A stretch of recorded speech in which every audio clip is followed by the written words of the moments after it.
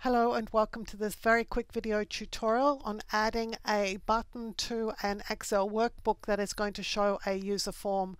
So I have a user form already created here. It's called user form 1.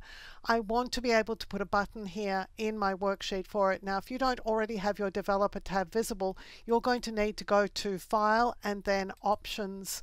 You're going to come down here to the customize ribbon and you're going to make sure that the developer tab is enabled. Without that you won't have access to your Visual Basic but I already do so I don't need to do anything. What I'm going to do is come in here to design mode and make sure that this is enabled and then go to insert and insert a command button an ActiveX control. Just going to drag it out here and I'm going to right click it go to command button object and then edit and here I can edit the label.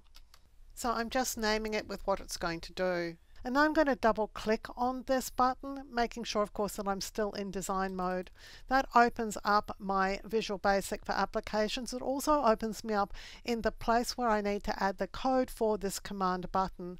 And all I need to do is to give it the user form name. So in this case it's user form 1 and then a full stop and then show and that's all the code that's needed for this user form. So I'm just going to click away here. Now I'm still in design mode so to be able to use this I'm going to have to turn that off so I'm just going to click to turn it off. And now when I click on my click to display user form my user form is going to be displayed. I've already set it up so it just has a cancel button. I'm going to click to close it. So now you can open your user form using a button in any Excel worksheet just using this same process. You will of course need to to save your workbook as an XLSM file because it has an embedded macro in it. If you like carefully researched content like this, clearly presented in a step-by-step -step format so that you can get great results every time, then you'll love my other YouTube videos. So give this video a thumbs up and click to subscribe to the channel.